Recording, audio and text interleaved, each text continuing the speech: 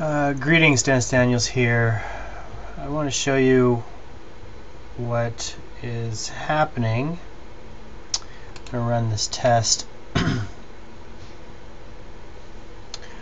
Alright, so uh, this does not work, sort is not defined, this does work. I'd really like to see a way to show the code so I could you could see the code here. Um, and this uh, the missing after element list this is giving me a bit of problems. Um, let me show you the source code here.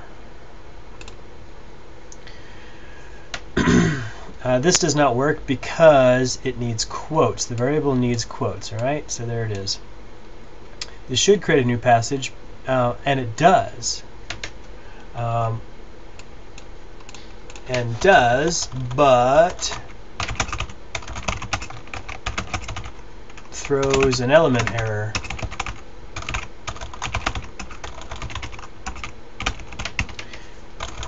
error uh, right here missing after element list which um, is a problem.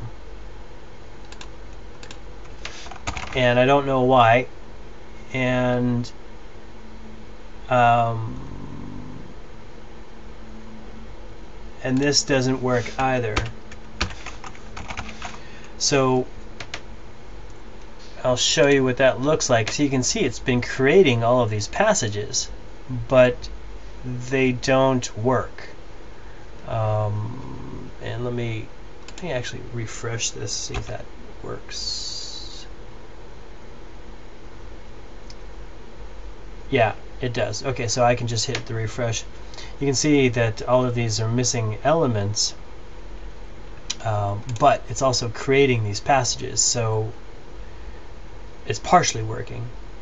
And you can see, for example, um, if you look at it, it says draw your weapon.